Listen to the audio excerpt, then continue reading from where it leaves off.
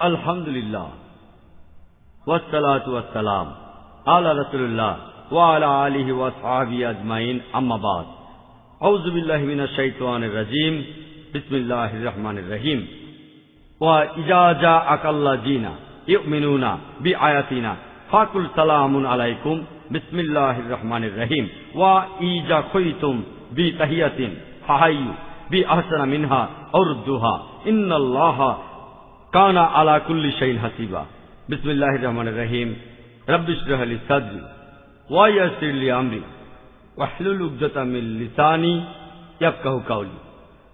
শ্রদ্ধেয় চেয়ারম্যান ভাই ইলিয়াস, শ্রদ্ধেয় গুরুজনেরা, আমার প্রিয় ভাই ও বোনেরা, আমি আপনাদের স্বাগত জানাই ইসলামিক সম্ভাষণে। আসসালামু আলাইকুম ওয়া রাহমাতুল্লাহি ওয়া বারাকাতুহু। আল্লাহর দয়া, শান্তি ও রহমত আপনাদের সবার উপরে বর্ষিত হোক। আজকের আলোচনার টপিক আজকের আমাদের বিষয়টা হচ্ছে, যদি পোশাক দিয়ে উদ্দেশ্য বোঝা যায়, সেটাই পরে। এই টপিকটা একটু অন্যরকম বলা যায়। আপনারা ভাবতে পারেন যে ইসলামে এই পোশাকের গুরুত্বটা আসলে কি? আপনারা হয়তো একটু কৌতূহলী যে আজকের আলোচনার বিষয়বস্তুটা আসলে কি? এই টপিকটা একটু অন্যরকম আমি শুরুতেই পবিত্র কোরআন থেকে কয়েকটি আয়াতের উদ্ধৃতি দিয়েছিলাম। সুরা নামের চুয়ান্ন নম্বর আয়াতে উল্লেখ করা হয়েছে, ওয়া ইজা জা কাল্লা জিনা ইউমিনুনা বি আয়াতিনা ফাকুল সালামুন আলাইকুম। যখন তারা তোমার নিকট আসে, আমার আয়াতগুলোতে ইমান আনে, বলো শান্তি বর্ষিত হোক। তার মানে যখনই কোনো মুমিন, যখনই কোনো মুসলিম আপনার কাছে আসবে, তাকে আপনি বলবেন, আসসালাম আলাইকুম। আপনার উপর শান্তি বর্ষিত হোক। এটা আবশ্যিক। একজন মুমিনের সাথে আরেক মুমিনের দেখা হলে এক মুসলিমের সাথে আরেক মুসলিমের দেখা হলে সে তখন বলবে, আসসালাম আলাইকুম, আপনার উপর শান্তি বর্ষিত হোক, এটা আবশ্যিক। অন্য যে আয়াতের উদ্ধৃতি দিয়েছিলাম, সুরা নিসার ছিয়াশি নম্বর আয়াতে উল্লেখ করা হয়েছে যে, ওয়া বি কানা আলা কুল্লি শাইন হাসিবা। যার অর্থ তোমাদেরকে যখন অভিবাদন করা হয়, তোমরাও তখন অভিবাদন করবে তার চেয়ে উত্তমভাবে। অন্ততপক্ষে অনুরূপ। নিশ্চয়ই আল্লাহ সব বিষয়ে হিসাব গ্রহণ করে থাকেন। তার মানে যখনই কেউ আপনাকে অভিবাদন জানায়, আপনি তাকে অভিবাদন করবেন তার চেয়ে আরও বেশি বিনয়ের সাথে। অথবা অন্ততপক্ষে একই রকম বিনয়ের সাথে। এটা আবশ্যিক। যেমন ধরুন যেমন ধরুন, কেউ আপনাকে বলল, আসসালাম আলাইকুম। তখন আপনি বলবেন, ওয়ালাইকুম আসসালাম রহমতুল্লাহ। কেউ যদি বলে, আসসালাম আলাইকুম রহমতুল্লাহ, তখন আপনি বলবেন, ওয়ালাইকুম আসসালাম রহমতুল্লাহ বরকাতহু। আল্লাহর দয়া, শান্তি ও রহমত আপনাদের সবার উপরে বর্ষিত হোক। অথবা কেউ যদি বলেন, আসসালাম আলাইকুম। আপনি এভাবে বলতে পারেন, ওয়ালাইকুম আসসালাম। এখানে শব্দগুলো একই, তবে এই শব্দগুলো বলছেন আপনি খুবই আগ্রহের সাথে, হৃদয়ের গভীর থেকে, একেবারে হৃদয়ের ভিতর থেকে।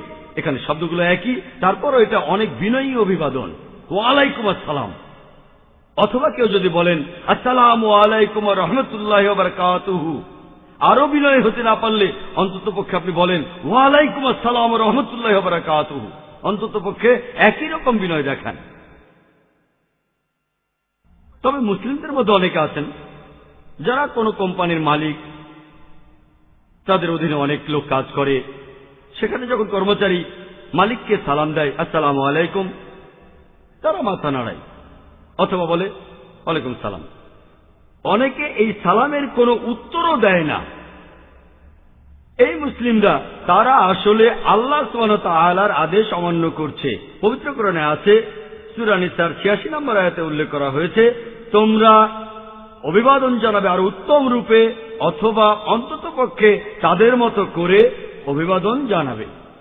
তাহলে অভিবাদন জানাব একই বিনয় নিয়ে, এটা মিনিমাম। আসুন দেখি, বিভিন্ন সমাজে কোন ধরনের অভিবাদন প্রচলিত আছে?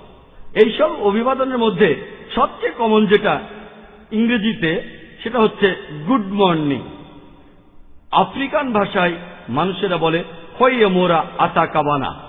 চীনা ভাষায় চাওসুং বেশিরভাগ ভাষাতেই এই অভিবাদনটা খুব কমন গুড মর্নিং আর ধরেন, আজকে বৃষ্টি পড়ছে।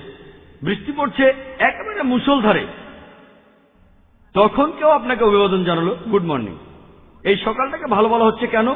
একেবারে মুসলধারে বৃষ্টি হচ্ছে, শহরে পানি জমে গেছে, তারপরে লোকটা বলছে গুড মর্নিং এখন সকালটাকে ভালো বলা হচ্ছে কেন? আর আমরা যখন স্কুলে যাই, যদি স্কুলটা কোনো ইংরেজি স্কুল হয়ে থাকে, তাহলে সব পিরিয়ডেই শুরু করার আগে আপনারা দেখবেন যে সকালে যখন টিচার ক্লাসে ঢোকেন, সব ছাত্ররাই শিক্ষকদের খুব সম্মান করে বলে গুড মর্নিং স্যার এটা আবশ্যিক। আর হতে পারে সেই টিচার তিনি তার ঘর ছেড়ে যাওয়ার আগে হয়তো তার স্ত্রীর সাথে ঝগড়া করেছেন। ধরুন ঘটনাটা সকালের। তিনি হয়তো মনে মনে তার স্ত্রীকে অভিশাপ দিয়ে যাবেন।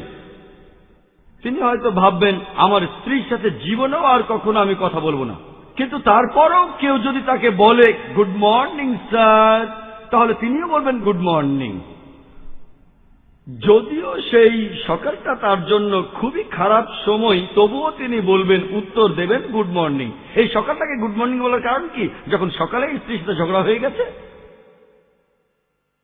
অভিবাদনের মধ্যে শ্রেষ্ঠ হল ইসলামিক অভিবাদন। আসসালাম আলাইকুম। আপনার উপর শান্তি বর্ষিত হোক। হতে পারে সেদিন বৃষ্টি হচ্ছে, হয়তো মুসলধারে বৃষ্টি হচ্ছে, হতে পারে স্ত্রীর সাথে ঝগড়া হয়ে গেছে বা বন্ধুর সাথে। তারপরেও এই অভিবাদন, আসসালাম আলাইকুম। আপনার উপর শান্তি বর্ষিত হোক, একেবারে সঠিক অভিবাদন। আরেক ধরনের অভিবাদন প্রচলিত আছে, বিশেষ করে তরুণদের মধ্যে। যারা স্কুল আর কলেজে পড়ে, তারা যখন অভিবাদন জানায়, তারা বলে, হাই! আর কাউকে যদি তার বন্ধু অভিবাদন জানিয়ে বলে, হাই! সেও তখন বলে, হাই! তাকে যদি জিজ্ঞেস করেন, এই হাই শব্দের অর্থটা কি? কেউ এটার উত্তর দিতে পারবে না। এই হাই শব্দটার অর্থ কি? এর উত্তর কেউ দিতে পারবে না। হিন্দিতে এটা স্থানীয় ভাষা। ইন্ডিয়ায় হাই বলা হয় আফসোস করে যেমন হাই। ইংরেজিতে এইটাই যে হাই মানে যে জিনিসটা উপরের অবস্থানে আছে। এছাড়াও এই হায়ের আরেকটা অর্থ হল যে লোক মাদকে আচ্ছন্ন হয়ে গেছে। লোকে এভাবে বলে, একটা পার্টিতে গিয়েছিলাম, তারপর হাই হয়ে গিয়েছিলাম, মাতাল, মাদকাচ্ছন্ন হয়ে গিয়েছিলাম। এটা কি ভদ্র অভিবাদন? সত্যি বলতে আমি বলব, এটা কোনো অভিবাদনই নয়। ভদ্র অভিবাদন তো দূরের কথা, হাই আসলে কোনো অভিবাদনই নয়। আরেকটা কমন অভিবাদন, যেটা আমাদের অনেকেই বলে, সেটা হ্যালো আমরা যদি অক্সফোর্ড ডিকশনারি দেখি হ্যালো শব্দটার অর্থ বলা হয়েছে অনানুষ্ঠানিক অভিবাদন। অন্য আরেকটা অর্থ, অক্সফোর্ড ডিকশনারি যেটা বলছে যে, টেলিফোনে কথা শুরু হয় যেটা দিয়ে, ফোনে কথা বলা শুরু করলে এটা বলা হয়। আপনারা কি জানেন এই আইডিয়াটা কীভাবে শুরু হয়েছিল যে টেলিফোনে কথা শুরু করার আগে বলতে হবে হ্যালো? যে ভদ্রলোক টেলিফোন আবিষ্কার করেছিলেন, তিনি স্যার আলেকজান্ডার গ্রাহাম বেল। একবার তিনি ঘর থেকে বের হচ্ছিলেন, তখনই বেলটা বেজে উঠল। তখন কথাবার্তা শুরু করার জন্য তিনি বললেন, হ্যালো। যাতে করে অন্য পাশের লোক তার কথা বলতে পারে, আর তিনিও তাড়াতাড়ি করে বের হতে পারবেন। এই হ্যালো শব্দটা টেলিফোনে কথা শুরু করার জন্য প্রচলিত সেই সময় থেকে, এমনকি আজকের দিনেও সবাই এভাবে কথা বলে। আপনিও বলেন, আমিও বলি। হ্যালো বলে টেলিফোনে কথাবার্তা শুরু হয়। কিন্তু এখনকার দিনে, বিশেষ করে বোম্বেতে, ফোনে বিভিন্ন সমস্যার কারণে এই হ্যালো শব্দটা অনেক বেশি ব্যবহৃত হয় বিভিন্ন কথাবার্তার মাঝখানে। কারণ কথার আওয়াজ কমে গেলে বলে, হ্যালো, আপনি শুনতে পাচ্ছেন? হ্যালো? অক্সফোর্ড ডিকশনারি বলছে, হ্যালো শব্দটা টেলিফোনে কথার শুরুতে বলা হয়। তবে বোম্বেতে এই হ্যালো শব্দটা শুরুতে বলার চাইতে মাঝখানে বেশি বলা হয়। আর এখন মোবাইল প্রযুক্তি আমাদের হাতে নাগালে আছে। সেখানে যখন আমরা ঠিকমতো কথা শুনতে পাই না, তখনও সবাই আমরা বলি হ্যালো। এমনকি টেলিফোনে কথাবার্তার মাঝখানেও হ্যালো বলি। হয়তো অক্সফোর্ড ডিকশনারির নতুন সংস্করণটাতে তারা এই অর্থটা বদলাতে পারে। হ্যালো শব্দটা ব্যবহার করা যায় টেলিফোনে কথাবার্তার মাঝখানেও। আমি এটা বুঝতে পারি না। যে পশ্চিমা বিশ্বের লোকেরা কেন যীশু খ্রিস্টের অভিবাদনটা না বলে অন্য সব অভিবাদনগুলো ব্যবহার করে? এই পশ্চিমারা কেন, বিশেষ করে খ্রিস্টানরা যীশু খ্রিস্টের বলা অভিবাদনটা না বলে অন্য সব অভিবাদনগুলো ব্যবহার করে? আপনারা যদি বাইবেল পড়েন, এটা আছে New Testament, Gospel of Luke, চব্বিশ নম্বর অধ্যায়ের ছত্রিশ অনুচ্ছেদে, যে সেই তথাকথিত ক্রুসিফিকশনের পর যীশু খ্রিস্ট কি করলেন? সেই উপরে ঘরে গেলেন শিষ্যদের সাথে দেখা করতে। তিনি অভিবাদন জানালেন হিব্রুতে। সালাম আলাইকুম। যদি হিব্রু থেকে আরবিতে অনুবাদ করেন, অর্থ দাঁড়ায়, আসসালাম আলাইকুম। এই অভিবাদনের বাংলা করলে অর্থ হবে আপনার উপর শান্তি বর্ষিত হোক। অভিবাদনের মধ্যে সবচেয়ে শ্রেষ্ঠ আর সর্বজনীন অভিবাদন হল, আসসালাম আলাইকুম, আপনার উপর শান্তি বর্ষিত হোক। আমাদের প্রিয় নবী মোহাম্মদ সাল্লাম, তিনি সবসময় প্রথমে অভিবাদন জানাতেন লোকজনকে। সেই সময় সেই সময় অনেক সাহাবি, আমাদের প্রিয় নবীজির অনেক সাহাবিগণই চেষ্টা করেছেন নবীজিকে আগে অভিবাদন জানাতে। কিন্তু কখনোই পারেননি। নবীজি আলহামদুলিল্লাহ সবসময় অভিবাদন জানিয়েছেন প্রথমে। আমাদের প্রিয় নবী মোহাম্মদ সাল্লাহ সাল্লাম বলেছেন, এটা আছে সহি মুসলিমে, তিন নম্বর খণ্ডে, আছে বুক অব সালাম, নয়শো এক নম্বর অধ্যায়ের, হাদিস নম্বর পাঁচ হাজার তিনশো চুয়াত্তর, আবু হুরায়রা রাজে আল্লাহানহু উল্লেখ করেছেন যে নবীজি সাল্লা সাল্লাম বলেছেন যে আরোহী আগে অভিবাদন জানাবে পথচারীকে। আর পথচারী অভিবাদন জানাবে তাকে যে লোকটা দাঁড়িয়ে আছে। ছোট দল অভিবাদন জানাবে তার চেয়ে বড় দলকে তার মানে কোন লোক যদি ঘোড়া বা অন্য কিছুতে চড়ে থাকেন অথবা উটের পিঠে, অথবা তিনি কোনো গাড়িতে চড়ে যাচ্ছেন, কার, বাস বা মোটরসাইকেলে তিনি প্রথমে অভিবাদন জানাবেন তাকে যে লোক রাস্তা দিয়ে হেঁটে যাচ্ছেন, অর্থাৎ পথচারী। আর পথচারী প্রথম অভিবাদন জানাবে সেই লোকদের যারা দাঁড়িয়ে বা বসে আছে। একইভাবে ছোট দল প্রথম অভিবাদন জানাবে কোনো বড় দলকে। এরপর বলা হয়েছে, সেই মুসলিমে তিন নম্বর খণ্ডের বুক অব সালামে নয়শো তিন নম্বর অধ্যায়ের হাদিস নম্বর পাঁচ হাজার তিনশো আটাত্তর। আবু হুরায়রা রাজে আল্লাহ আনহু উল্লেখ করেছেন যে আমাদের নবীজি বলেছেন যে এটা প্রত্যেক মুসলিমের অধিকার তার ভাইদের কাছে। এটা হলো অধিকার প্রত্যেক মুসলিমের ভাইদের কাছে যে অভিবাদনের উত্তর পাবেন। যখন কেউ বলে, আসসালাম আলাইকুম তাহলে তার উত্তরে বলতে হবে, ওয়ালাইকুম আসসালাম কমপক্ষে। মুমিনদের মোট পাঁচটি অধিকার আছে তার ভাইদের কাছে। প্রথমটা হচ্ছে সালামের উত্তর দেয়া। আর এরপরে তিনি বলবেন ইয়ার হামুক আল্লাহ, কেউ যদি হাতি দেওয়ার পর আলহামদুলিল্লাহ বলে, অসুস্থ কোনো মানুষকে দেখা করতে যাওয়া আর অন্ত্যেষ্টিক্রিয়ার ব্যবস্থা করা। এগুলোই হল মুসলিমদের অধিকার তার ভাইদের কাছে। আর নবীজি মোহাম্মদ সাল্লাহ সাল্লাম তিনিও বলেছেন যে তরুণরা প্রথমে অভিবাদন জানাবে তাদের গুরুজনদের। যে লোক সিঁড়ি দিয়ে নিচে নেমে আসছে, সে প্রথমে অভিবাদন জানাবে তাকে যে সিঁড়ি দিয়ে উপরে উঠছে। আমাদের নবীজি মোহাম্মদ সাল্লাহ সাল্লাম এটা শিখিয়েছেন। এখন এটা কীভাবে সম্ভব যে মুসলিমরা আমরা আমাদের নবীজির নির্দেশগুলো মেনে চলব। এছাড়া এটাও বা কীভাবে সম্ভব যে আমরা আল্লাহ তালার নির্দেশগুলো মেনে চলব? পবিত্রকরণে সুরা আনামের চুয়ান্ন নম্বর আয়াতে উল্লেখ করা হয়েছে যে, ওয়া ইজাজা আকাল্লা জিনা ই মেনুনা বি আয়াতিনা ফাকুল সালাম আলাইকুম। তারা যখন তোমার কাছে আসে, যারা আমার আয়াত সমূহে ইমান আনে, তাদের বলো, আসসালাম আলাইকুম। এখন এটা কীভাবে সম্ভব যে আমরা আল্লাহ তালার এবং নবীজির আদেশগুলো মেনে চলব? আমি যদি বুঝতে না পারি যে আমার সামনে যে লোকটা আছে, সে একজন মুসলিম। আমি এই ব্যাপারটা কীভাবে বুঝতে পারব যে এই বিশেষ লোকটা আল্লাহ তালার আয়াতগুলোতে ইমান এনেছে? এটা কীভাবে বুঝব যে সে একজন মুসলিম, সে একজন মুমিন? সাধারণত যখন কোনো কনফারেন্সে যান প্রতিনিধিরা বিশেষ পোশাক পরে অথবা পরে একটা ব্যাজ, আর ব্যাজের উপর সেই প্রতিনিধির নাম লেখা থাকে। আরও থাকে পদমর্যাদা অথবা যেখান থেকে সে এসেছে। যদি সেই কনফারেন্সটা হয়, জ্ঞানী লোকদের হতে পারে তাদের পেশাটা লেখা থাকবে। হতে পারেন তিনি ডাক্তার বা ইঞ্জিনিয়ার বা অ্যাডভোকেট যদি কনফারেন্সটা হয়, বিশেষজ্ঞদের, যেমন মেডিসিন বিশেষজ্ঞ, তাদের ক্ষেত্রগুলো সেখানে লেখা থাকে।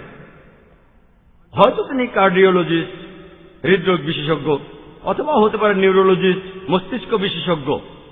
হতে পারেন তিনি ইউরোলজিস্ট যিনি কিডনির উপর বিশেষজ্ঞ। হতে পারেন তিনি গাইনোকোলজিস্ট যিনি মহিলাদের বিভিন্ন রোগের উপর বিশেষজ্ঞ। হতে পারেন পিডিয়াট্রিশিয়ান যিনি শিশুরোগ বিশেষজ্ঞ। সেই বিশেষজ্ঞের ক্ষেত্রটা সেখানে লেখা থাকে।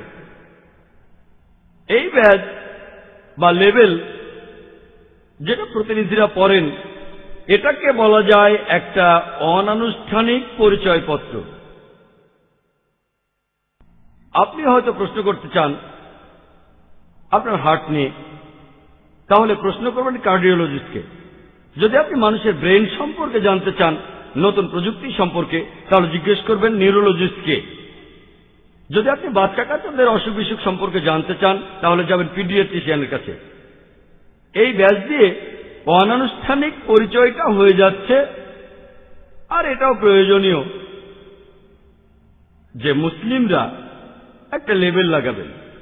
যেমন ধরেন, আমি একটা ব্যাজ করেছি, এটা একটা লেভেল আর এখানে লেখা আছে আল্লাহ।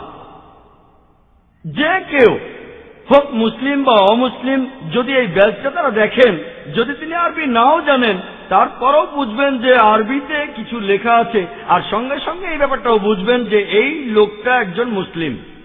এটা দিয়েই আমার পরিচয় জানিয়ে দিচ্ছি, যে আমি একজন মুসলিম। এরকম অনেক ব্যাচই দেখতে পাবেন, আর আমাদের কাছে অনেক ব্যাচ আছে ইসলামিক রিসার্চ ফাউন্ডেশনে। ব্যাচের উপর লেখা, লা ইলাহা ইল্লাল্লাহ মুহাম্মাদুর রাসুল্লাহ অর্থাৎ আল্লাহ ছাড়া কোনো উপাস্য নেই এবং নবীজি মোহাম্মদ সাল্লাম আল্লাহ তালার প্রেরিত রাসুল। কিছু ব্যাজের উপর লেখা কোরআন হল আল্লাহ তালার বাণী সর্বজনীন নির্দেশনার জন্য। যখন কেউ এই ব্যাচগুলো দেখে, কোনো অমুসলিম, তার কৌতূহল হতে পারে যে, এই ব্যাজের উপরে কি লেখা? এই আল্লাহ শব্দটার মানে কি? তখন আপনি সুযোগ পেয়ে যাবেন দাওয়া দেওয়া সে বলতে পারে, কোরআন ঈশ্বরের বাণী? এই কোরআন জিনিসটা কি? তখন আপনি কথা বলার সুযোগ পাবেন। মুসলিম উম্মার প্রত্যেকের পক্ষে এটা সম্ভব না যে সবাই আমার মতো ব্যাজ করবে। এটা কঠিন, এটা সব জায়গায় পাওয়া যায় না, আর জিনিসটা একটু দামি। সেজন্য আমি বলব না যে সব মুসলিমই ব্যাজ পড়বে আর আমিও সবসময় পড়ি না। সবসময় ব্যাজটা পড়ি না, মাঝে মধ্যে পড়ি, সবসময় না। যখন কোট পড়ি তখন এটা পড়ি, সবসময় না। এটা সুবিধাজনক না যে প্রত্যেক মুসলিম এই ব্যাজ পড়বে। তার বদলে আমরা মুসলিমরা এমন লেভেল লাগাতে পারি যেটা মুসলিমরা ব্যবহার করে অনেক দিন ধরে আর এই রীতিটা মুসলিম সমাজে এখনও রয়েছে। অনেক দিন ধরে। আমি এখানে বলছি, দাড়ি আর টুপির কথা। মুসলিমরা এই লেভেলটা লাগাতে পারেন মানে তারা দাড়ি রাখবেন আর মাথায় টুপি পরবেন। হতে পারে মুসলিম ভাইয়েরা জিজ্ঞেস করবেন যে, ভাই জাকির, ইসলামে এই টুপি আর দাড়ির প্রয়োজনটা আসলে কি? আমাকে কি টুপি পরতেই হবে, দাড়ি রাখতেই হবে? যাতে করে আল্লাহ তালা বুঝতে পারেন যে, আমি আসলে একজন মুসলিম।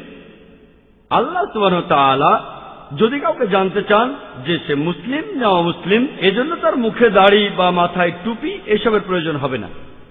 আল্লাহ সুবাহ তালা আগে থেকেই জানেন, তিনি সব জানেন। যদি আপনি বেহেস্তে যাওয়ার উপযুক্ত হন, আপনাকে সেখানেই পাঠানো হবে। যদি জাহান নামের উপযুক্ত হন, আপনাকে সেখানেই পাঠানো হবে। আল্লাহ কারও দাড়ি বা টুপি দেখে ঠিক করবেন না যে সে মুসলিম নাকি অমুসলিম। আল্লাহ দাড়ি টুপি দেখে ঠিক করবেন না সে মুসলিম না অমুসলিম। কিন্তু আমার প্রশ্নটা হলো, আমি কীভাবে একজন মুসলিমকে চিনতে পারব যদি সে টুপি না পরে? আমি কেমন করে বুঝব যে লোক আমার সামনে দাঁড়িয়ে আছে, সে মুসলিম না অমুসলিম? কেমন করে তাকে আমি চিনতে পারব? পবিত্রকরণের নির্দেশ আমি কীভাবে মেনে চলব? সুরা আনামের চুয়ান্ন নম্বর আয়াতে যেটা উল্লেখ করা হয়েছে, তারা যখন তোমার কাছে আসে, যারা আমার আয়াত সময় ইমান আনে, যখন মুমিনরা তোমার কাছে আসে, যখন মুসলিমরা তোমার কাছে আসে, তাদের বলো, আসসালাম আলাইকুম। আমি এই নির্দেশনা কীভাবে মানব? যদি না, আমি বুঝতে পারি যে আমার সামনের এই লোকটা মুসলিম অথবা মুসলিম আপনারা প্রশ্ন করতে পারেন, ভাই জাকির, এটা কি ফরজ? এটা কি আবশ্যিক যে দাড়ি রাখতেই হবে আর টুপি পড়তেই হবে? আমি পবিত্র কোরআনে এমন কোন আয়াত পাইনি যেটা বলছে যে তোমরা দাড়ি রাখো অথবা এটা হলো ফরজ। পবিত্র কোরআনে এমন কোন আয়াত নেই।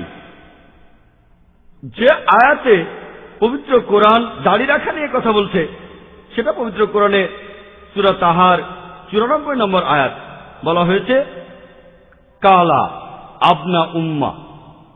তিনি বললেন, হারুন আল্লাহ ইসলাম তার বড় ভাইকে বললেন, মুসা আল্লাহ ইসলামকে তিনি বললেন ও আমার বড় ভাইজান লাখুজ বিলিহিয়াতি ওয়ালা তুমি আমার দাড়ি ধরো না, অথবা মাথার চুল ধরো না। এটা হলো কোরআনের একমাত্র আয়াত যেখানে দাড়ির কথা বলা হয়েছে। হারুন আলাইসাল্লাম তিনি তার ভাই মুসা আলাহিসাল্লামকে বলছেন, একটু রেগে গিয়ে যে তুমি আমার দাড়ি ধরো না অথবা মাথার চুল ধরো না আমার। তার মানে হারুন আলাইসাল্লাম ইহুদিরা বলে, অ্যারন, তার দাড়ি ছিল এটাই।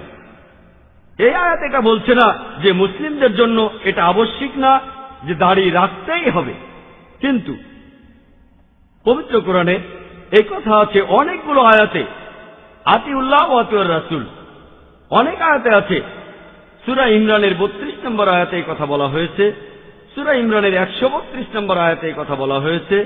সুরা নিসার উনষাট নম্বর আয়াতে উল্লেখ করা হয়েছে। সুরা মাইদার বিরানব্বই নম্বর আয়াতে উল্লেখ করা হয়েছে, সুরা আনফালের এক নম্বর আয়াতে উল্লেখ করা হয়েছে, সুরা আনফালের বিশ নম্বর আয়াতে উল্লেখ করা হয়েছে, সুরা আনফালের ছিচল্লিশ নম্বর আয়াতে উল্লেখ করা হয়েছে, সুরা নূরের চুয়ান্ন নম্বর আয়াতে বলা হয়েছে, সুরা নূরের ছাপ্পান্ন নম্বর আয়াতে উল্লেখ করা হয়েছে, সুরা মোহাম্মদের তেত্রিশ নম্বর আয়াতে উল্লেখ করা হয়েছে, সুরা মুজাদিলার তেরো নম্বর আয়াতে উল্লেখ করা হয়েছে, অনেক জায়গায় আছে। এছাড়াও সুরা তাগাবুনের বারো নম্বর আয়াতে উল্লেখ করা হয়েছে, পবিত্র কোরআন বলছে, আতিউল্লাহ ওয়াতিউর রাসুল। তোমরা আল্লাহ ও রাসুলকে মান্য করো। এটা আবশ্যিক যে প্রত্যেক মুসলিম আল্লাহ এবং তার রাসুলকে মেনে এটার উল্লেখ আছে সহি বুখারিতে সাত নম্বর খণ্ডে। বুক অব ড্রেস, চৌষট্টি নম্বর অধ্যায়ের সাতশো আশি নম্বর হাদিসে নাফি রাজিয়াল্লাহ আনহু উল্লেখ করেছেন যে ইবনে ওমর, অর্থাৎ ওমরের ছেলে বলেছেন যে নবীজি সাল্লাহ সাল্লাম বলেছিলেন যে পত্তলিকরা যা করে তার উল্টোটা তোমরা করো। তোমরা দাঁড়িয়ে রাখো আর তোমাদের গোপ ছোট করে ছাটো। এই নির্দেশটা দিয়েছেন আমাদের নবীজি যে দাঁড়িয়ে রাখো আর তোমাদের গোপ ছোট করে ছাটো। এরপর আরও উল্লেখ আছে সহি বুখারিতে সাত নম্বর খণ্ডের বুক অব ড্রেসে পঁয়ষট্টি নম্বর অধ্যায়ের সাতশো একাশি নম্বর হাদিসে যে ইবনে ওমর রাজে আল্লাহ আনহু উল্লেখ করেছেন যে আমাদের প্রিয় নবীজি সাল্লাহ সাল্লাম বলেছেন যে, তোমরা গোপ ছোট করে ছাটো আর মুখে দাড়ি রাখো। বেশিরভাগ বিশেষজ্ঞই বলেন যে, দাড়ি রাখাটা হল মুস্তাহাব। মুস্তাহাব মানে সুপারিশ করা হয়েছে। অনেক বিশেষজ্ঞ বলেন, সুন্নতে মক্কাদা। এটা আমাদের নবীজির সুন্নত, যেটা সুপারিশ করা হয়েছে। এছাড়া আরও অনেক বিশেষজ্ঞ বলেন, যেহেতু পবিত্র কোরআন বলছে, আতিউল্লাহ ওয়াতিউর রাসুল। আল্লাহকে মানো, তার রাসুলকে মানো।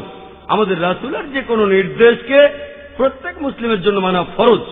সেজন্য অনেক বিশেষজ্ঞ বলেন যে, দাড়ি রাখাটা হচ্ছে ফরজ। অনেক বিশেষজ্ঞ বলেন, এটা মুস্তাহাব, সুপারিশ করা হয়েছে।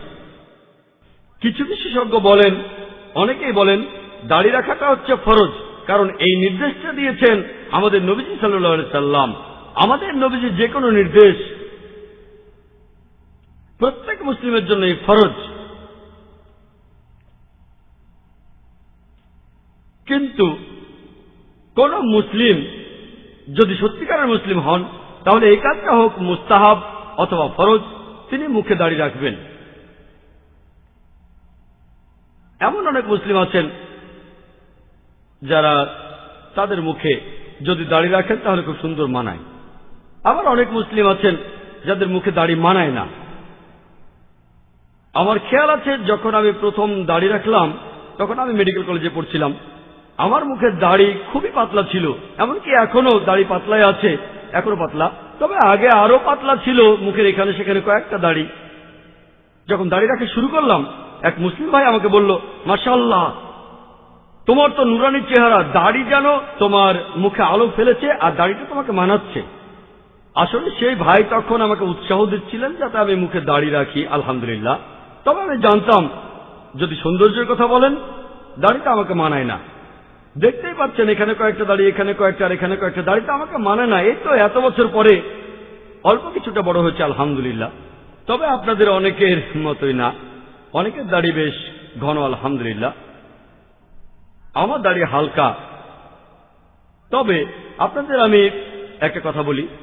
সেই মুসলিমরা যাদের দাড়ি ঘন, যদি দাড়িতে তাদের মানায়, আর তারা দাড়ি রাখেন ইনশাল্লাহ তারা অবশ্যই সব পাবেন, কারণ তারা আল্লাহ এবং রসুলকে মেনেছেন। কিন্তু সেই মুসলিমরা যাদের দাড়ি ঘন, আর দাড়িতে যদি তাদের না মানায়, তারপরও তারা মুখে দাড়ি রাখেন আল্লাহ এবং রাসুলকে মানার জন্য ইনশাল্লাহ তারা আরও বেশি সব পাবেন। কারণ চিন্তা করেন, দাড়িতে যদিও আমাকে মানায় না, কোন মুসলিমকে হয়তো দাড়িতে মানায় না, তারপরও দাঁড়িয়ে রাখেন আল্লাহ এবং রাসুলকে ভালোবেসে। আমি মনে করি ইনশাল্লাহ তিনি আরও বেশি সব পাবেন। যারা দাড়ি রাখেন, তারা তো সব পাবেনই, কিন্তু যে মুসলিমের মুখে দাড়ি মানায় না, তারপরও তিনি দাড়ি রাখেন, ভালো করেই জানেন দাড়িটাকে মানায় না, আল্লাহ এবং রাসুলকে ভালোবেসে দাড়ি রাখেন, তিনি নিশ্চয়ই অনেকগুণ বেশি সব পাবেন। স্বাভাবিকভাবে যদি দেখেন, পৃথিবীর সব মানুষের মধ্যে যারা দাঁড়িয়ে রাখেন, যদি আপনি কোন সার্ভে করেন, আনুমানিকভাবে তাদের সেভেন্টি ফাইভ পার্সেন্টেরও বেশি লোক যারা মুখে দাঁড়িয়ে রাখে, তারা মুসলিম।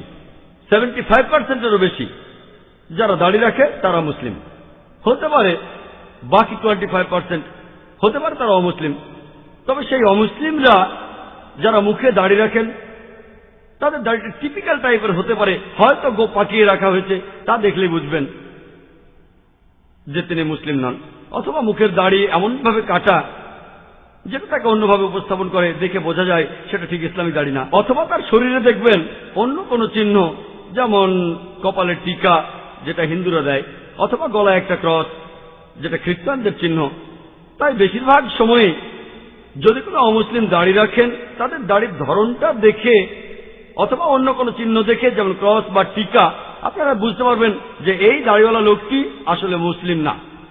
তাই যদি কাউকে দেখেন, যার মুখে দাড়ি আছে, বেশিরভাগ সময়ে বেশিরভাগ ক্ষেত্রে দেখা যাবে, আপনি বুঝতে পারবেন যে দাড়িওয়ালা লোকটি মুসলিম নাকি অমুসলিম। আর এছাড়াও আরও নিশ্চিত হওয়ার জন্য আমাদের আরও কিছু লেভেল আছে। আমি এখন টুপির কথা বলছি। আপনারা বলতে পারেন যে মাথায় টুপি পরা এটা কি ফরজ? পবিত্র কোরআনে এমন কোন আয়াত নেই যেটা বলছে যে টুপি পরা ফরজ। এমনকি আমাদের নবীজিও বলেননি যে টুপি পরা ফরজ। কোথাও নেই এটা ফরজ। তবে এটা হলো সুন্না এটার উল্লেখ আছে সহি বুখারিতে সাত নম্বর খণ্ডের বুক অব ড্রেসে ষোলো নম্বর অধ্যায়ে এটা বলা হয়েছে ইবনে আব্বাসের উদ্ধৃতি দিয়ে যে নবীজি মোহাম্মদ সাল্লাহ সাল্লাম তিনি যখন আসলেন, তখন পরলেন একটা কালো পাগড়ি। নবীজি যখনই বাইরে যেতেন, সব সময় মাথা ঢেকে রাখতেন, শুধু হজ ইহরামের সময়টা বাদ দিয়ে সব সময় মাথা ঢেকে রাখতেন। আর আনাস বিন মালিক তিনি বলেছেন, যখন নবীজি বের হতেন, তখন মাথা ঢেকে রাখতেন, তার পোশাকের একটা অংশ দিয়ে। এরপর বলা হচ্ছে সহি বুখারিতে সাত নম্বর খণ্ডের বুক অব ড্রেসে সতেরো নম্বর অধ্যায়ের হাদিস নম্বর ছয়শো নিরানব্বই। আনাস বিন মালিক রাজে আল্লাহ আনহু বলেছেন, যে বছরে মুসলিমরা মক্কা বিজয় করল, নবীজি যখন মক্কায় প্রবেশ করলেন, তার মাথায় ছিল শিরস্ত্রাণ। তিনি সব সময় মাথা ঢেকে রাখতেন। তাই মাথা ঢেকে রাখা সুন্না। সেটা হতে পারে কোনো কাপড় দিয়ে অথবা আরবরা যেভাবে তাদের মাথা ঢেকে রাখে, অথবা টুপি দিয়ে। আর মুহাদ্দিস, যারা হাদিসের বিভিন্ন বিষয়ে বিশেষজ্ঞ, তারা হাদিসের বয়ানকারীর কিছু বৈশিষ্ট্যের কথা বলেছিলেন। তাদের কিছু বৈশিষ্ট্য থাকতে হবে। মহাদিসদের অনেকে এই ব্যাপারে একগুয়ে। তারা সেই বয়ানকারীর হাদিস মানবেন না, যে তারা মাথা ঢেকে রাখে না। যদি বয়ানকারী তার মাথা না ঢাকেন, অনেক মহাদিসই বলেন, আমরা এর হাদিস মানব না। তাহলে মাথায় টুপি পরাটা হলো আসলে সুন্না। আর এই টুপি, এর দাম খুবই কম। টুপির দাম খুবই কম। খুব বেশি হলে দশ টাকা হবে বা পনেরো টাকা বা বিশ টাকা। আমি যে টুপিটা পরেছি, আমি যে টুপিটা পরেছি, এটা মেড ইন চায়না এর দাম পঁচিশ টাকা। টুপি একটা সাধারণ জিনিস। একটা মাছিরও কোনো ক্ষতি করতে পারে না।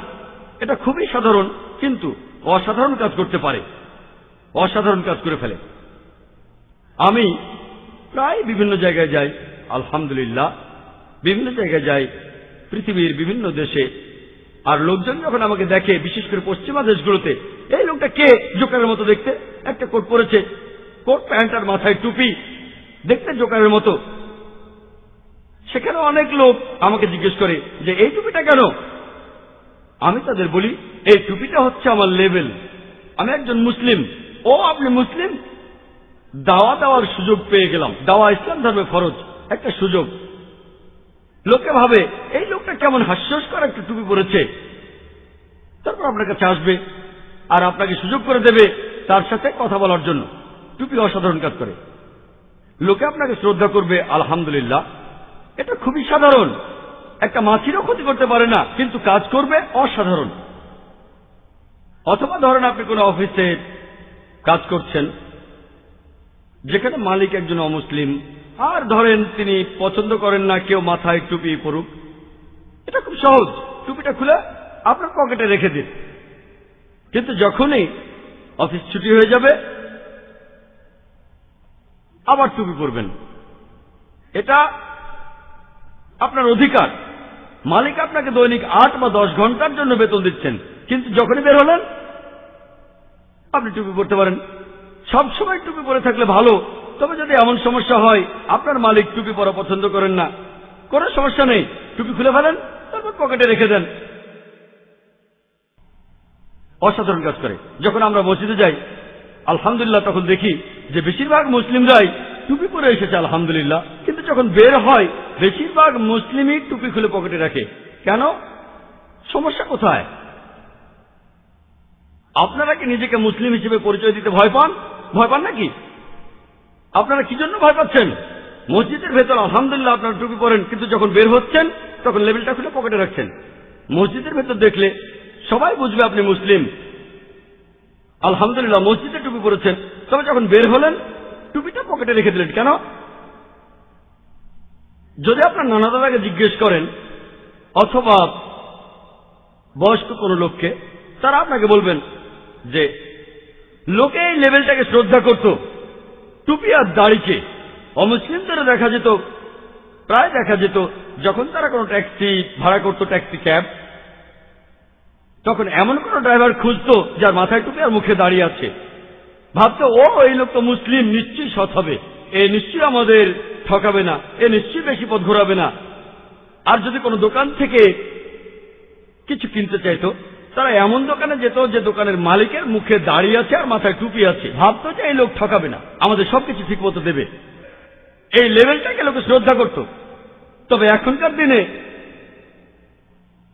যদি আপনার মাথায় টুপি আর মুখে দাড়ি থাকে, ও, আপনি ভেন্ডি বাজার থেকে এসেছেন ডঙ্গি থেকে। আ, এই লোক একটা গুন্ডা, বুঝলেন? এ নিশ্চয়ই মাস্তান। এটা লজ্জার কথা। আর এজন্য দোষটা আসলে আমাদেরই। আমরা এই লেভেলের প্রতি শ্রদ্ধাকে নষ্ট করে দিয়েছি। আর একথাটা সত্যি যে কিছু মুসলিম আছেন, এই লেভেলটার অপব্যবহার করে। তারা লেভেলটা দিয়ে দেখাতে চায় যে তারা ভালো। ও আপনার দাঁড়িয়ে আছে। মাথায় টুপি আর মুখে দাড়ি। মিয়া ভাই, দাদাগিরি করবে। তারপর বিভিন্ন জায়গায় চেহারা দেখিয়ে বেড়াবে। এরকম কিছু মুসলিম আছে যারা সুনামটাকে নষ্ট করেছে। সেজন্য অনেক মুসলিমই বলেন, আমি দাড়ি রাখব না, আর টুপিও পরবো না। তাহলে লোকে আমাকে মনে করবে আমি একজন গুন্ডা, আমি একটা মাস্তান। সেজন্য আমি দাড়িও রাখব না, টুপিও পরবো না। অনেকেই বলে, আমি তাদের বলব, কয়েকজন মুসলিম ভাইয়ের করা ভুল কাজের জন্য যারা সুনাম নষ্ট করেছে, কিন্তু আমরা কেন এই লোকগুলোকে ব্যবহার করব না? ধরেন আপনার কথা মেনে নিলাম তর্কের খাতিরে মানলাম যে যাদের মাথায় টুপি আর মুখে দাড়ি থাকে, লোকে তাদের গুন্ডা ভাবে তর্কের খাতিরে মানলাম। তবে আমি সেই মুসলিম ভাইদের বলব, তাহলে আপনি সে প্রথম মানুষটা হন যে মাথায় টুপি পরে আর মুখে দাড়ি রেখে বলে, আমি অন্য লোকদের কথা জানি না, তবে আমি একজন মুসলিম। আমি এই লেভেল পড়ি মাথায় টুপি আর মুখে দাড়ি, আমি হচ্ছি একজন ভালো মুসলিম। আমি একজন ভালো মানুষ, আমি ঠকাই না। মিথ্যে কথা বলি না, ঘুষ দেয়া নেয়া করি না। আমি একজন ভালো মুসলিম।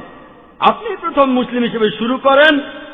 আগামীকাল হয়তো দশজন হবেন, তারপর একশো জন, তারপর হাজার জন, আর ইনশাল্লাহ আবারও দেখবেন লেভেলের প্রতি সেই শ্রদ্ধা আর টুপিদারি শ্রদ্ধা আবার ফিরে এসেছে। এরকম যুক্তি দেখাতে পারি না যে আপনি জানেন যদি এই লেভেলটা লাগায়, লোকে আমাকে ভাববে, খারাপ, আমি মাস্তান। আমরা এই সমাজটাকে বদলে দেব। আমরা সেই সম্মানটাকে ফিরিয়ে আনব। আমাদের লেভেল যে সম্মানটা হারিয়েছে, আর অনেক মুসলিম আছেন, যারা লজ্জাবোধ করেন, তারা মুসলিম হিসেবে পরিচয় দিতে ভয় পান। এর কারণ জানেন? যদি তারা লেভেলটা লাগায় টুপি পরে দাঁড়িয়ে রাখে, লোকে হয়তো তাদের বলতে পারে, আ, আপনি সেই মুসলিম যারা একাধিক মহিলাকে বিয়ে করতে পারে। আ, ও, আপনি সেই মুসলিম যারা শূন্যতে খতনা করে। আপনি সেই মুসলিম যারা মদ পান করে থাকে, যারা মেয়েদের পর্দার ভেতরে রাখে, মেয়েদের প্রধানত করে রাখে, তাই তারা মুসলিম হিসেবে পরিচয় দিতে ভয় পায়। আমি একটা প্রশ্ন করি, ধরুন একটা এলাকা খুবই খারাপ, খুবই বিপজ্জনক এলাকা, সেখানে অনেক গুন্ডা পান্ডা থাকে। সাধারণ কোনো মানুষ সেই এলাকায় যেতে ভয় পায়। কিন্তু ধরেন আপনার কাছে একটা মেশিন গান আছে, আর আপনি জানেন কীভাবে সেই মেশিন গানটা চালাতে হয়। আপনি কি ভয় পাবেন? আপনি কি সেই এলাকাতে যেতে ভয় পাবেন? যেখানে গুন্ডা পান্ডারা থাকে? না। আপনার কাছে স্টেল গান বা মেশিন গান আছে, আপনি চালাতেও জানেন। একইভাবে যদি প্রত্যেক মুসলিম, অমুসলিম ভাইদের কমন প্রশ্নগুলোর উত্তর জেনে থাকে, কোন মুসলিমই তাহলে লজ্জা পাবে না, ভয় পাবে না। নিজেকে মুসলিম বলেই পরিচয় দেবে। আমরা নিজেদের মুসলিম হিসেবে পরিচয় দিতে ভয় পাই, কারণ সেই প্রশ্নগুলোর উত্তর জানি না, যেগুলো অমুসলিমরা করে থাকে। আর সেজন্য, আলহামদুলিল্লাহ, বুকলেট তৈরি করেছি। অমুসলিমরা সাধারণত যে প্রশ্নগুলো করে, সেই প্রশ্নগুলোর উত্তর। এখানে মোট বিশটা কমন প্রশ্ন আছে, যেগুলো অমুসলিমরা করে থাকে, ইসলাম সম্পর্কে মুসলিমদের প্রশ্ন করে থাকে। আর এই প্রশ্নগুলোর উত্তর এই বুকলেটে আছে। ইনশাল্লাহ আমরা কয়েকদিন পরে এটা ছাপাবো। যদি প্রত্যেক মুসলিম এই সব প্রশ্নগুলোর উত্তর জানেন, তাহলে তিনি জীবনে আর কখনো লজ্জা পাবেন না অমুসলিমদের মুখোমুখি হতে। তিনি গর্ববোধ করবেন। আলহামদুলিল্লাহ, যদি আমি কখনো বাইরে যাই, মাথায় টুপি না পরে, তখন আমি যেন ডাঙার উপরে তোলা মাছ। এই লেভেলটা ছাড়া আমি যেন ডাঙায় তোলা মাছ। আলহামদুলিল্লাহ, এই টুপি অসাধারণ কাজ করে। এটা আমার কাছে সাহায্য করে। টুপিটা আমাকে রাখে সিরাত আল মুস্তাকিমের পথে, সত্যের পথে। কারণ আমি নিজেকে মুসলিম হিসেবে পরিচয় দেই, আর আমি মানি যে আমি সেই লোক যে সত্যের ধর্ম পালন করি, দিনুল হক। প্রত্যেক ধর্মের কিছু বিশেষ লেভেল আছে। খ্রিস্টানরা তাদের লেভেল হল ক্রস, হিন্দুরা তাদের লেভেল হল ওম অথবা তাদের কপালের উপর টিকা, অনেককেই দেখবেন। ইহুদিরা ছোট্ট একটা টুপি পরে পেছনে, আর দেখেই বুঝতে পারবেন এটা মুসলিম টুপি আর এটা ইহুদিদের টুপি, ছোট্ট ক্যাপ। সব ধর্মেই কিছু বিশেষ লেভেল আছে। তবে যে সম্প্রদায়কে আমাদের প্রশংসা করা উচিত, যে সম্প্রদায়কে আমাদের প্রশংসা করা উচিত, তাদের লেভেলটা লাগানোর জন্য তারা হল শিখ সম্প্রদায়, শিখরা। খুব বেশি হল টু থ্রি পার্সেন্ট ইন্ডিয়ায় এতগুলো মানুষের মধ্যে প্রায় একশো কোটি মানুষ ইন্ডিয়ায়। টু পার্সেন্টেরও কম হল শিখ। কিন্তু তারা নিজেকে শিখ পরিচয় গর্ববোধ করে। সব সময় তারা লেভেলটা লাগায়। দেখেছেন তারা মাথায় পাগড়ি পরে। একটা বিশেষ ধরনের পাগড়ি, বাঁধার নিয়মটাও আলাদা। তারা মুখে দাঁড়িয়েও রাখে। নিজেদের শিখ পরিচয়ে তারা গর্ববোধ করে থাকে। আর যদি কোনো লোক সবাইকে দেখাতে চায় যে অমুক মানুষটা ইন্ডিয়ান, ইন্ডিয়া থেকে এসেছে প্রায় দেখা যাবে সে কোনো শিখকে দেখাচ্ছে। যেমন ধরেন, টিভি দেখেছেন, কোনো ক্রিকেট ম্যাচ বা অন্য কোনো খেলা বিদেশে হচ্ছে, তারা দেখাতে চায় দর্শক হিসেবে ইন্ডিয়ান আছে সেখানে, তখন ক্যামেরা ধরে শিখদের উপর। যদিও শিখটা টু পার্সেন্টেরও কম, এই শিখ আসলে ইন্ডিয়ান স্যাম্পল নয় টু পার্সেন্টেরও কম, সংখ্যালঘুরও সংখ্যালঘু। তারপরও যদি কেউ উদাহরণ হিসেবে কোনো ইন্ডিয়ানকে দেখাতে চায়, ক্যামেরা ধরে শিখদের উপর, কারণ তারা লেভেল নিয়ে গর্ববোধ করে। এমনকি সেই শিখ যদি জয়েন করে আর্মিতে অথবা নেভিতে অথবা এয়ারফোর্স সে কিন্তু তার লেভেলটা ত্যাগ করে না আর আমি অবাক হয়েছিলাম, সেবার আমি কানাডায় গিয়েছিলাম, সেখানে কাগজে পড়েছিলাম যে একজন শিখ, সে কানাডায় চলে গিয়েছিল আর সে ছিল কানাডার নাগরিক। কানাডার সরকার আপত্তি জানিয়েছিল যে সে পাগড়ি পড়তে পারবে না কানাডিয়ান আর্মিতে। শিখ এজন্য আদালতে মামলা করল আর সে মামলায় সে জিতল। এমনকি সেই কানাডাতেও তাকে অনুমতি দেওয়া হয়েছে যেন সে তার লেভেলটা লাগাতে পারে। চিন্তা করেন, কানাডায় সে নিজের পরিচয়টা দিতে চায়, সে একজন শিখ, সে মামলা তো জিতল। আর মুসলিমদের দেখবেন, তারা চাকরি করতে যায়।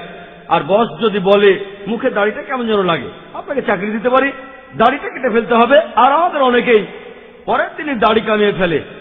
এটা আমাদের জন্য লজ্জাকর। এটা খুবই লজ্জাকর। শিখরা সংখ্যালঘুদের সংখ্যালঘু, পৃথিবীর সব লোকের মধ্যে তারা খুবই কম। তারপরও নিজেদের পরিচয় দেয় শিখ হিসেবে। আমি সব মুসলিমদের বলছি না, কিছু মুসলিমদের বলছি। যারা এই লেভেলটা লাগাতে ভয় পায়, এটা লজ্জাকর। আমাদের প্রিয় নবীজি মোহাম্মদ সাল্লাহ সাল্লাম, তিনি বলেছেন, এটা আছে সহি মুসলিমে। দ্বিতীয় খণ্ডে, বুক অব সালাদ। হাদিস নম্বর উনিশশো বত্রিশ এছাড়া উনিশশো তেত্রিশ আর উনিশশো চৌত্রিশ। এই তিনটা হাদিসে আমাদের নবীজি বলেছেন যে, যখন তোমরা ঈদের নামাজ পড়তে যাবে ঈদ উল ফিতরের নামাজ আর ঈদ উল আজহা রমজানের ঈদ আর কোরবানের ঈদ, এই নামে ভালো চিনবেন আপনারা। যখন তোমরা ঈদের নামাজ পড়তে যাবে, তখন বাচ্চা মেয়েদের, তোমরা তখন বাচ্চা মেয়েদের তোমাদের সাথে নেবে। রজস্রাব চলতে থাকা মহিলাদেরও সঙ্গে নেবে। এছাড়াও সেই মহিলাদের সঙ্গে নেবে যারা পর্দার ভেতরে থাকে। যদিও রজস্রাব চলতে থাকা মহিলারা তারা নামাজ পড়বে না, শুধু মোনাজাত করবে, তাদেরও সঙ্গে নাও। আমাদের নবীজি বলেছেন, যখন তোমরা ঈদের নামাজ পড়তে যাবে, তোমাদের সাথে না বাচ্চা মেয়েদের, পর্দার ভেতরে থাকা মহিলাদের, এমনকি রজস্রাব চলতে থাকা মহিলাদের, যদিও তারা নামাজ পড়তে পারবে না। এর পেছনের যুক্তিটা কি যে নবী সাল্লা সাল্লাম আমাদের নির্দেশ দিলেন, হে মুসলমানেরা, তোমরা সাথে নাও তোমাদের বাচ্চা মেয়েদের, পর্দার ভেতরের মহিলাদের, এছাড়া রজস্রাব চলতে থাকা মহিলাদের, যদিও তারা নামাজ পড়তে পারবে না। এখানে যুক্তিটা কি? যুক্তিটা হল যে আমরাও এটা জানি, ঈদের নামাজের জন্য সবাই এক জায়গায় হয়, নির্দিষ্ট কোনো জায়গায়, বিশেষ করে গ্রামে, যেখানে পাশাপাশি দু তিনটা গ্রাম আছে, তারা তখন জড়ো হয় ঈদগাহে, যে জায়গায় সবাই একসাথে ঈদের নামাজ আদায় করে। তবে আমাদের এই বোম্বে শহরে পরিস্থিতিটা একটু আলাদা। আসলে বোম্বে শহরটা খুব বড় শহর, আমরা এই শহরের বাইরে যাই না, যেটা অনেক দূর। তাই আমরা বিভিন্ন মসজিদে ঈদের নামাজ পড়ি, তবে তারপরও চেষ্টা করি ঈদের জামাতটা যেন বড় হয়। তবে সাধারণত অন্যান্য জায়গায়, যেমন গ্রামে গঞ্জে লোকজন ঈদগাহে খোলা ময়দানে নামাজ পড়ে। যেমন ধরেন, তিনটি ছোট ছোট গ্রাম, তাদের একটা কমন ঈদগাহ আছে। মুসলিমরা যখন সেখানে ঈদের নামাজ পড়তে যায়, তারা দেখে তিরিশ হাজার মুসলিম এই তিনটি ছোট ছোট গ্রামে। তিরিশ হাজার মুসলিম, মুসলিমদের মনোবল তখন আরও বেড়ে যায়। তারা গর্ববোধ করে, তিরিশ হাজার মুসলিম সবাই নামাজ পড়তে এসেছে। তখন এসব দেখে সেখানে যারা উপস্থিত থাকে, তাদের মনোবল আরও বেড়ে যায়। আর কোন অমুসলিম যখন দেখে, তিরিশ হাজার মুসলিম এই তিনটি ছোট্ট ছোট্ট গ্রামে, সে মুসলিমদের সাথে ঝামেলা করার আগে দশ বার ভাববে, যদি সে মুসলিমদের সাথে কোনো ঝামেলা করতে চায়, তাহলে একশো বার ভাববে। আর একই সাথে সেখানে যে মুসলিমরা থাকবে তাদের মনোবল আরও বেড়ে যাবে। সেজন্য আমাদের নবীজি বলেছেন, যখন ঈদের নামাজ পড়তে যাবে, তখন সেখানে নিয়ে যাও তোমাদের বাচ্চাদের, ছোট মেয়েদের, পর্দার ভেতরের মহিলাদের। এছাড়া রজস্কার চলতে থাকা মহিলাদের যদিও তারা নামাজ পড়তে পারবে না। যেমন ধরুন, আপনি বাসে করে কোথাও যাচ্ছেন, বাসে চড়ে কোথাও যাচ্ছেন। আর ধরুন, সেই বাসে করে যাচ্ছেন একজন মুসলিম মহিলা। আর সেই বাসের ভেতর সেই মুসলিম বোনের সাথে আরও রয়েছেন পাঁচ থেকে দশ জন পুরুষ মানুষ। তারাও বাসে আছেন, সবাই লেবেল লাগানো, মাথায় টুপি পরা আর মুখে দাড়ি। এই মুসলিমরা কেউই কাউকে চেনে না, সেই মুসলিম মেয়েটাও কারও পরিচিত না। কিন্তু যদি কোনো অমুসলিম সেই মুসলিম মহিলার সাথে কোনো ঝামেলা করে, সেই মুসলিম মহিলাকে কোনো বিপদে ফেলতে চায় তখন সেই অমুসলিম এটা করার আগে দশবার চিন্তা করবে, ও, বাসে তো আরও দশজন আছে, সবাই মুসলিম, মাথায় টুপি আর মুখে দাঁড়িয়ে আছে। সে কোনো ঝামেলা করার আগে দশবার চিন্তা করবে। যদি সেই দশজন লোক বৃদ্ধও হয়ে থাকে, হয়তো একটা আঙ্গুলো তুলতে পারে না, হয়তো কাউকে আঘাত করতে পারে না, তারপরও শুধুমাত্র তাদের দেখেই সেই লোক দশ বার ভাববে, ও দশজন সবাই মুসলিম, যদি কোনো ঝামেলা করি এই দশজন আমাকে ধোলাই দেবে অসাধারণ কাজ হয় এই লেভেল অসাধারণ কাজ করে এতে শুধু আপনার উপকারই হবে না এতে অন্যান্য মুসলিম ভাই বোনদেরও অনেক উপকার হবে إن في خلق السماوات والأرض واختلاف الليل والنهار والفلك والفلك التي تجري في البحر بما ينفع الناس وما أنزل الله من السماء من ماء فأحيا به الأرض بعد موتها وبث فيها من كل دابة وتصريف الرياح